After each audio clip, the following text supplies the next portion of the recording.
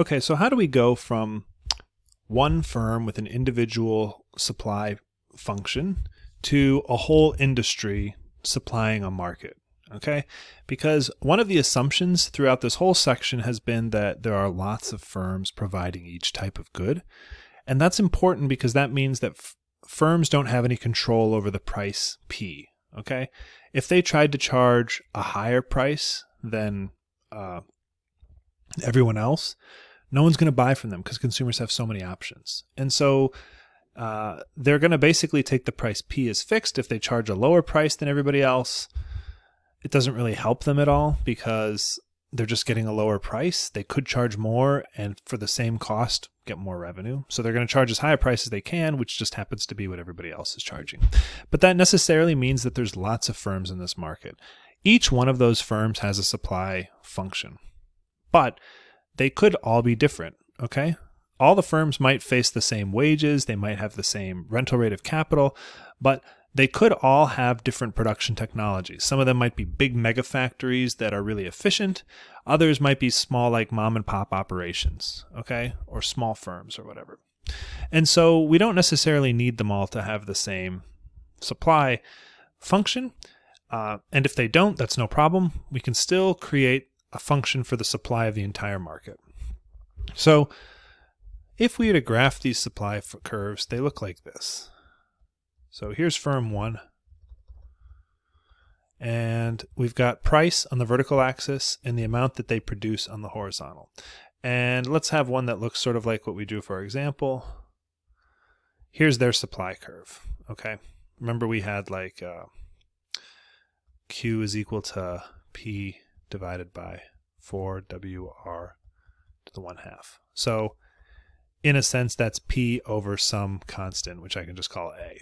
Okay, so it just goes up with the slope 1 over A. That's firm 1. Suppose firm 2 is over here, and it has a different type of production function, such that its cost curve is kind of funny looking. It starts very low, but then it gets high. Okay. And then let's have one other firm be over here.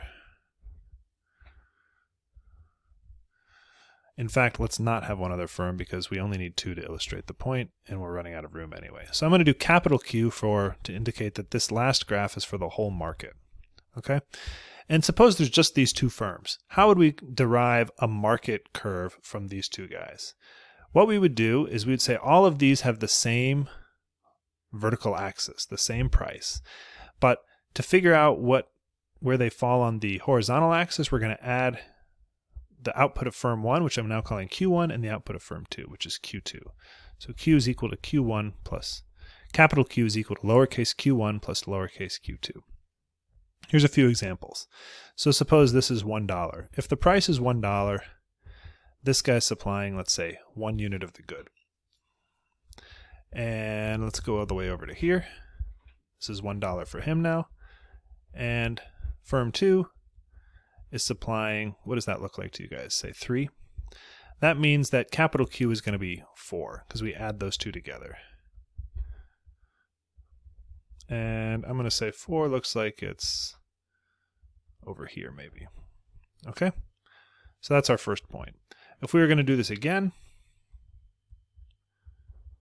firm 2, since it's got this constant slope, let's say they're doing 2.